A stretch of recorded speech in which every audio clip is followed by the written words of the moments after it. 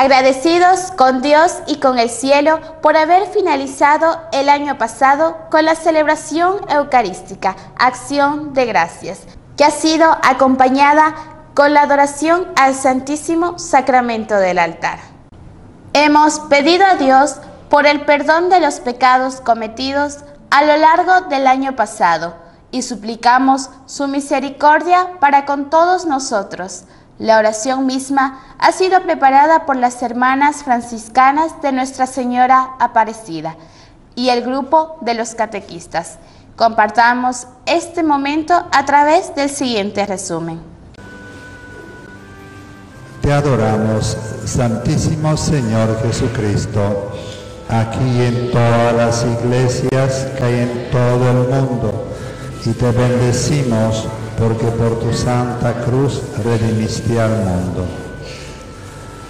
Hermanos reunidos al frente del Santísimo en esta noche, queremos expresar al buen Dios nuestros momentos de arrepentimiento, de oración y plegaria por este año que termina.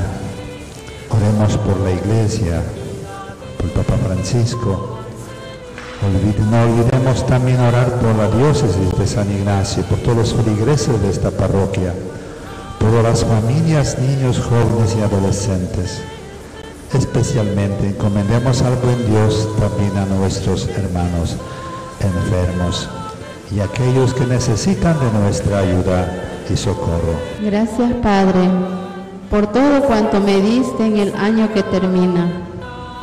Gracias por los días de sol y los nublados tristes, por las tardes tranquilas y las noches oscuras. Gracias por la salud y la enfermedad, por las penas y las alegrías. Gracias por todo cuanto me prestaste y luego me pediste. Gracias Señor por la sonrisa amable y por la mano amiga, por el amor y por todo el hermoso y por todo lo dulce, por las flores y las estrellas, por la existencia de los niños y de las almas buenas.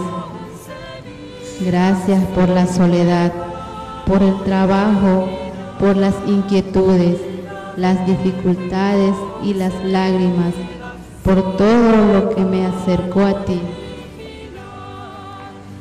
Gracias por haberme conservado la vida y por haberme dado techo, abrigo y sustento. ¿Qué me traerá el año que empieza?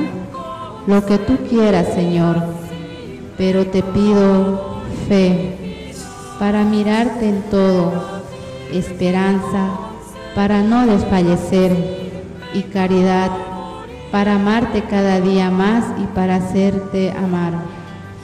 Dame paciencia y humildad desprendimiento y generosidad. Dame, Señor, lo que tú sabes que me conviene y yo no sé pedir. Que tenga el corazón alerta, el oído atento, las manos y la mente activas y que me halle siempre dispuesto a hacer tu voluntad.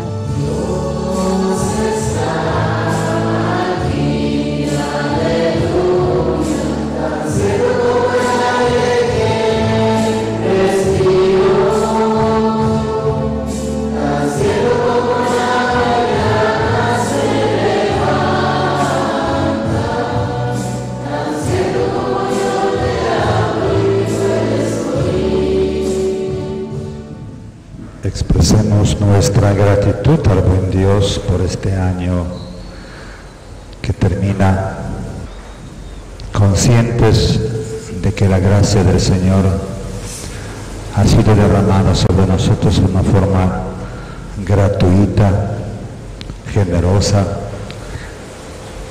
y hay necesidad de devolver el tiempo y la oportunidad al buen Dios y ser testigos de su palabra y de su mensaje.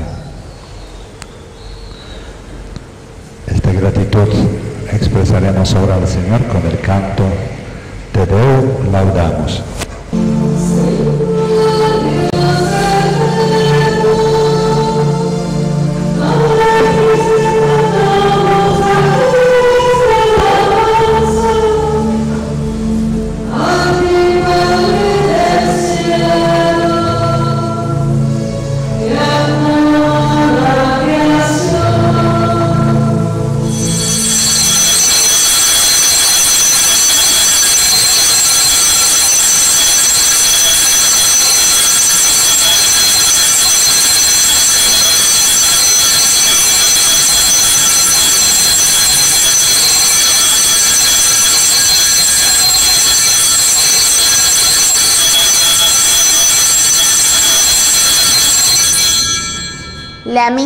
De acción de gracias del 31 de diciembre nos ha brindado la ocasión para ponernos en sintonía con Dios, atender su palabra y acercarnos al sacramento de la Eucaristía para reafirmar nuestro deseo de fidelidad a Dios mismo en nuestra vida de cada día. Al final de la celebración, sobre el pueblo de Dios, el sacerdote pidió la bendición sobre cada uno de los asistentes. Resumen de la celebración, a continuación expresan lo que vivieron los feligreses esa noche del año viejo.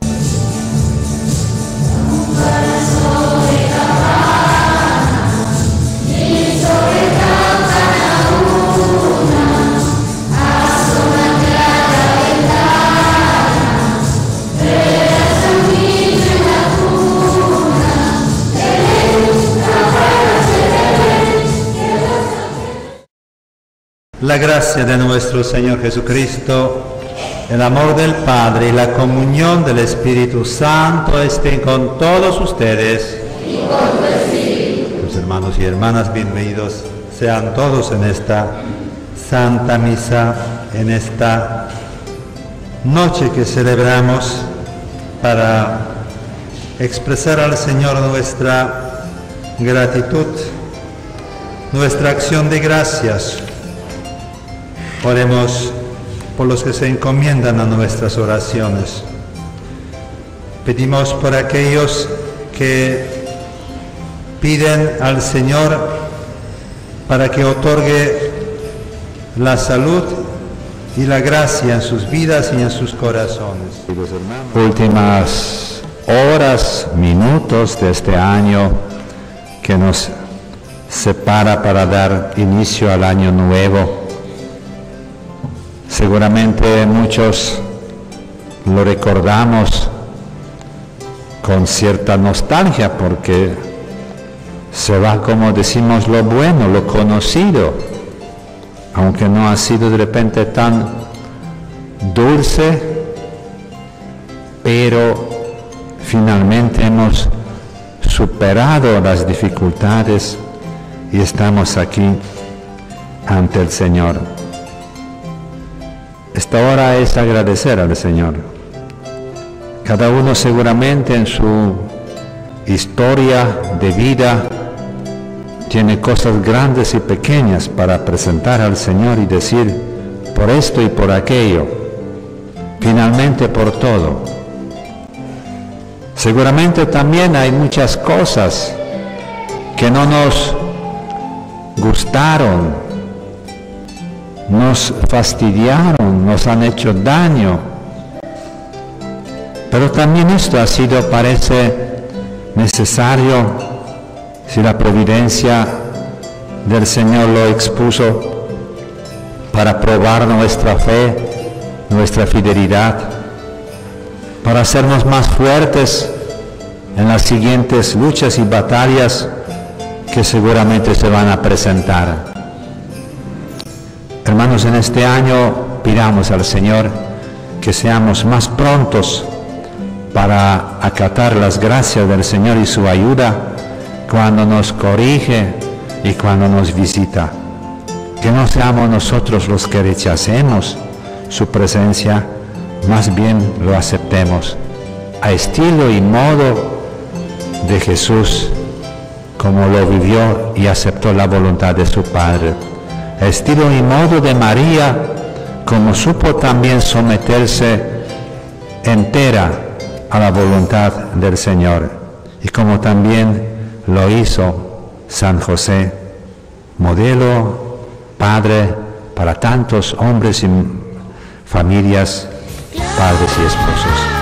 Dios Padre, fuente y principio de todo bien, les conceda su gracia, derrame sobre ustedes una abundante bendición y los conserve sanos y salvos durante todo este año nuevo que empieza. Amén. Él los mantenga íntegros en la fe, les conceda una esperanza generosa y os haga perseverar en la caridad. Amén. Él guíe en la paz las acciones de ustedes. Escuche siempre sus plegarias y les conduzca un día a la vida eterna. Y a todos aquí presentes nos bendiga Dios Todopoderoso, Padre, Hijo y el Espíritu Santo. Hermanos, con Jesús y María podemos ir en paz.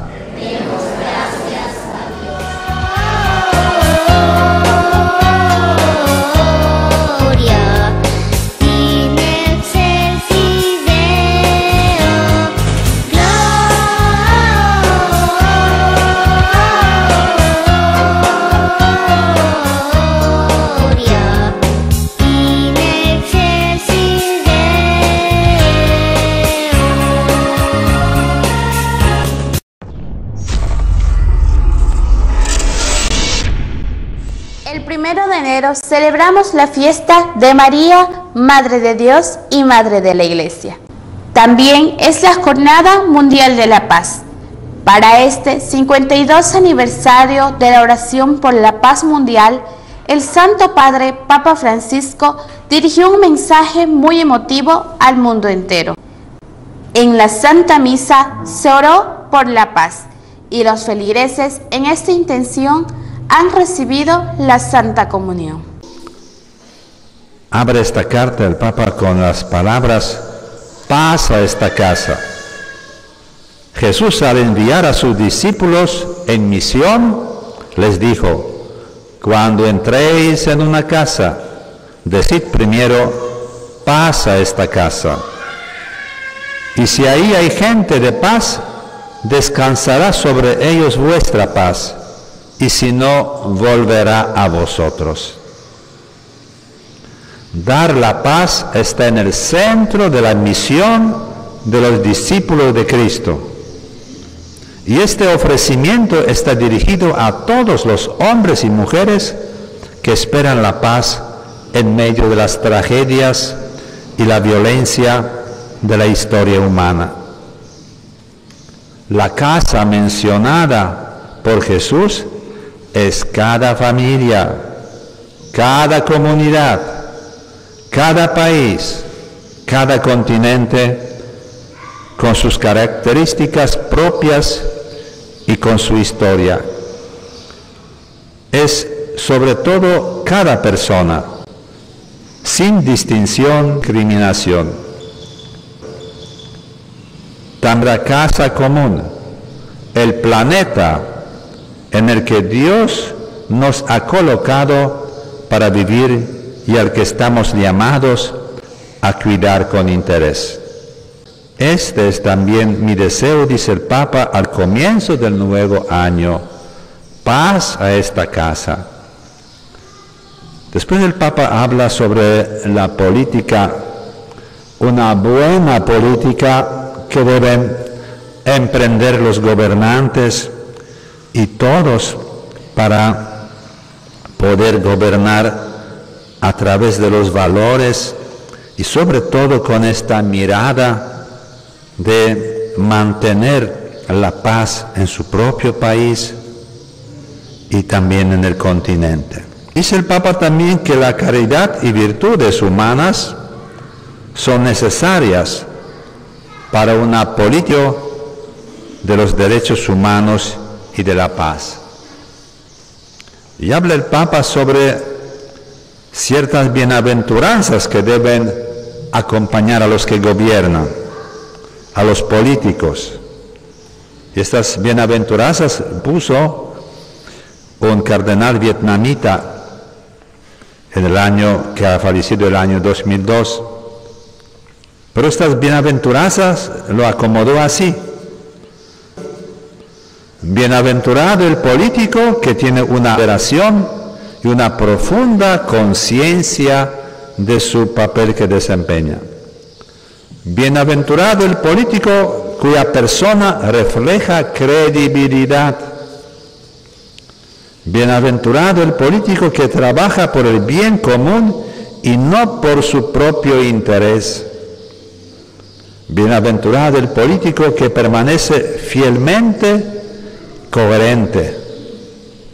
Bienaventurado el político que realiza la unidad.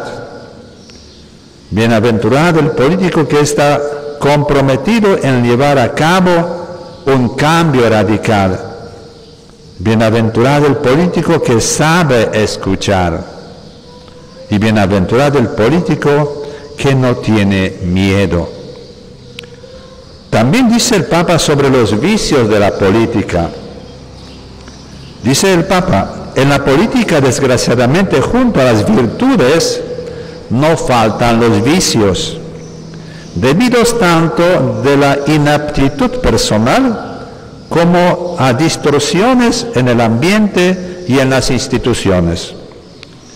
Es evidente que todos, que los vicios de la vida política restan credibilidad a los sistemas en los que ella se ejercita, así como a la autoridad, a las decisiones y a las acciones de las personas que se dedican a ella. Estos vicios que socavan el ideal de una democracia auténtica son la vergüenza de la vida pública y ponen en peligro la paz social. La corrupción, en sus múltiples formas de apropiación indebida públicos o de aprovechamiento de las personas.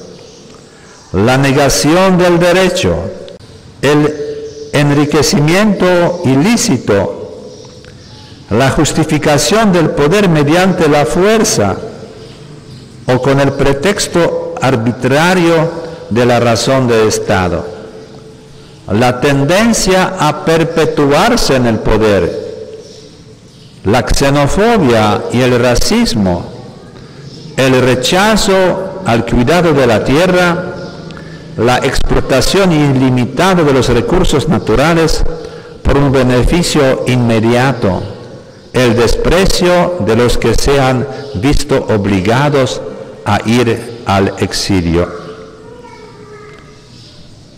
Dice el Papa que la paz es un gran proyecto, un gran proyecto para llevar y vivir en la paz.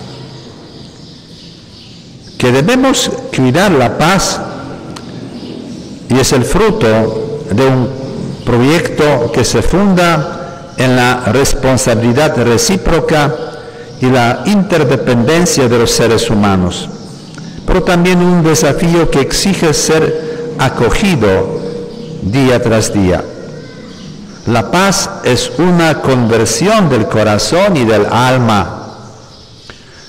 Y es fácil reconocer tres dimensiones inseparables de esta paz interior y comunitaria. En el primer lugar, la paz con nosotros mismos. Retransigencia, la ira y la impaciencia la paz con el otro, el familiar, el amigo, el extranjero, el pobre, el que sufre. La paz con la creación, redescubriendo la grandeza del don de Dios y la parte de la responsabilidad que corresponde a cada uno de nosotros como habitantes del mundo, ciudadanos y artífices del futuro. La política del Papa Francisco, que conoce bien y se hace cargo de fragilidades humanas, puede recurrir siempre al espíritu de Magnificat que María, Madre de Cristo, Salvador y Reina de la Paz, canta en nombre de todos los hombres. Y dice así, su misericordia llega a sus fieles de generación en generación. Dios hace proezas con su brazo, dispersa a los soberbios de corazón y derriba del trono a los poderosos y enaltece a los humildes, acordándose de su misericordia como lo había prometido a nuestros padres en favor de Abraham y su descendencia por siempre. Esta carta ha sido editada en Vaticano, 8 de diciembre de 2018, Papa Francisco. Y esto empezar por dónde, no de repente ordenar al otro, pero poner en su propia casa. Paz consigo mismo, como resalta el Papa, en su interior, en su corazón. Paz en su familia también. Por ahí empezamos a crear estos lazos. Y también esta paz que quiere el mundo que nos rodea. Aquí se resalta el peligro de la violencia y abuso para con la, con la naturaleza, que también merece estar en paz, como dice el Papa, en nuestra casa común.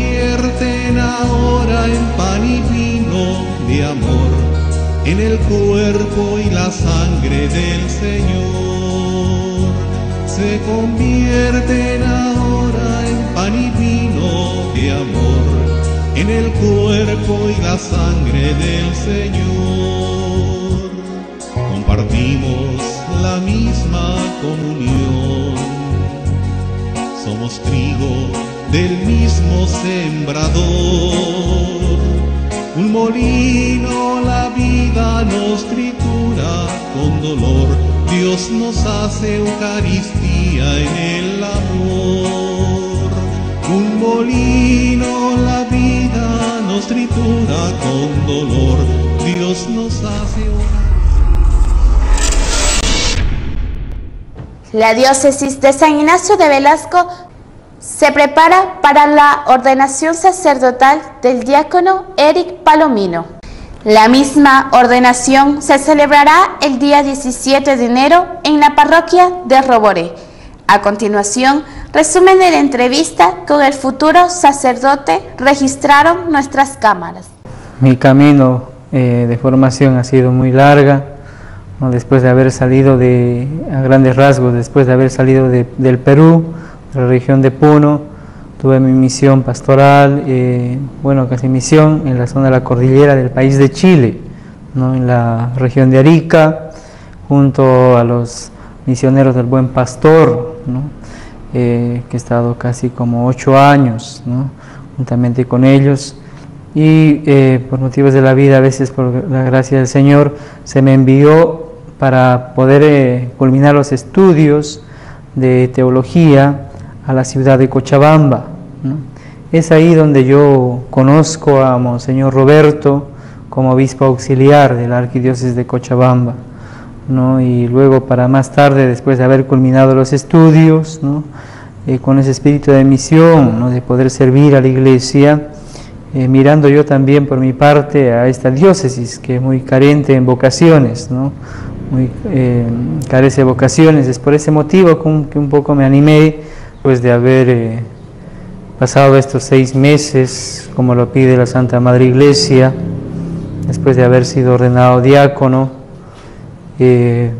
presenté mi carta de petición a Monseñor Roberto, nuestro obispo de nuestra diócesis, para poder ser admitido y ordenado sacerdote, de la cual eh, se dio una respuesta positiva y a la vez también eh, fijando fecha para este 17 de enero, que lo vamos a tener la ordenación sacerdotal allá en la ciudad de Roboré, con el motivo también de que el clero chiquitano tendrá su retiro a partir del 15 de enero y culminando el retiro para aprovechar también que están presentes todo, todo el clero, por el motivo de la distancia, eh, vamos a aprovechar este momento para poder tener la ordenación allá en la ciudad de Roboré. ¿no?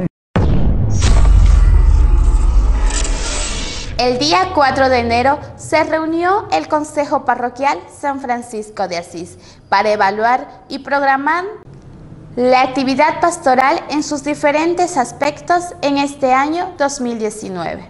El párroco en esta ocasión agradeció a todos su presencia y su trabajo realizado en la gestión 2018. Al finalizar La reunión se celebró el agasajo para con los participantes. Sobre este encuentro pastoral tenemos la entrevista con la profesora electa, catequista de primera comunión. Bien, buenas noches, paz y bien. Eh, hoy 4 de enero, a convocatoria del párroco, nos hemos reunido todo el Consejo Pastoral Parroquial para organizar las actividades en las diferentes eh, áreas de trabajo que desarrolla aquí nuestra parroquia San Francisco de Asís. Entonces, en el área de educación, en el área pastoral y en el área de catequesis, entonces todos estamos coordinando con el Padre cómo van a ser las actividades y eh, invitar a personas a que colaboren en los diferentes grupos como ser Cáritas pa- Parroquial, eh, el Cabildo Indígena y también en la catequesis de primera comunión y confirmación, así como también en los diferentes ministerios de lectura de la liturgia.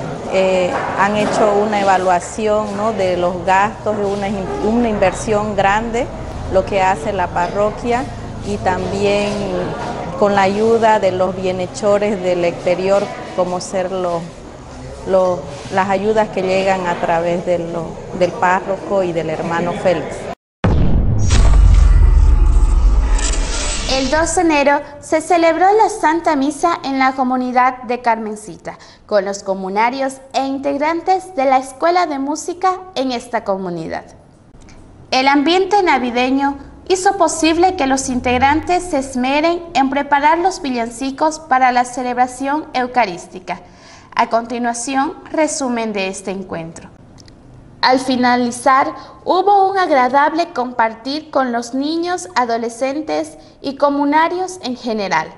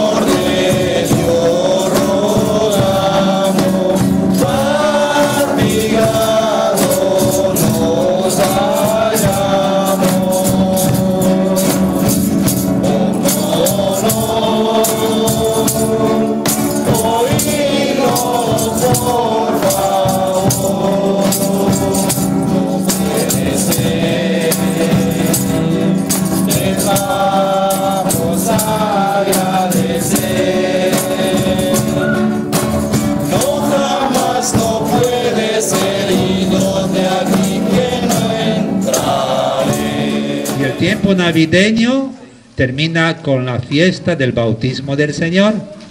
Entonces en dos semanas seguimos cantando los villancicos, bendiciendo pues los pesebres y también procurando adornar la liturgia de la palabra o la misa con el canto hermoso que nos trae la fiesta del nacimiento de Jesús. Esta alegría también comparte el Señor en esta Navidad, que hoy este ministerio de música suena más solemne, pero quiero que también los violines no abandonen canto religioso, canto litúrgico y toda la misa nos acompañe. Pero también felicito a los papás que a sus hijos hacen caso, porque cuando le piden instrumentos le dan. Y es importante, le proporciona, claro, es un sacrificio, pero este sacrificio está compartido. La experiencia de Carmencita, pues todavía no tiene duplicidad. No nos hemos atrevido a ir a otro lado, ofrecer música, porque esto tiene su costo. Pero esperamos que esto sea tan fuerte y poderoso que pronto esta escuela podrá caminar solito. Surgirán aquí los propios maestros y profesores. Ustedes saben bien que esta escuela de música afiliada a la Escuela Paz y Bien de San Ignacio les va a otorgar el título de técnico medio.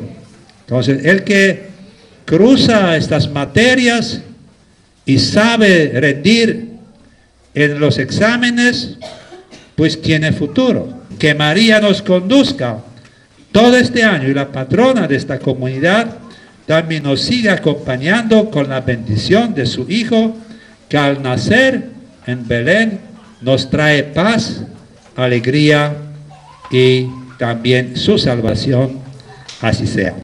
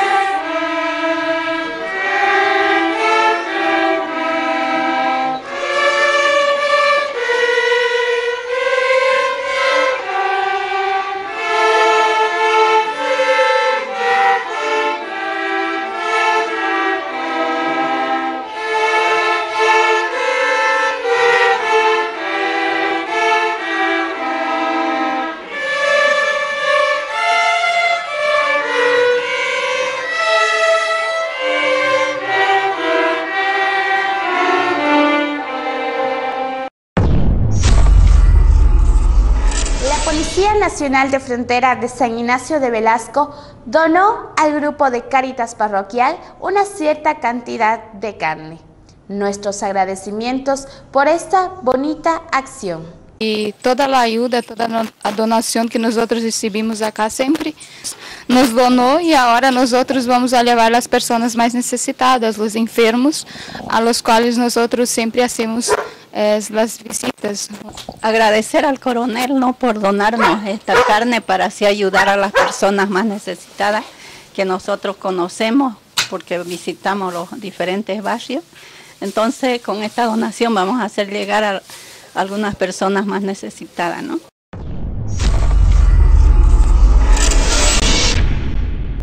Los invitamos a la Santa Misa 19 horas de la noche. Será hasta un próximo encuentro. Chapié, Churapa.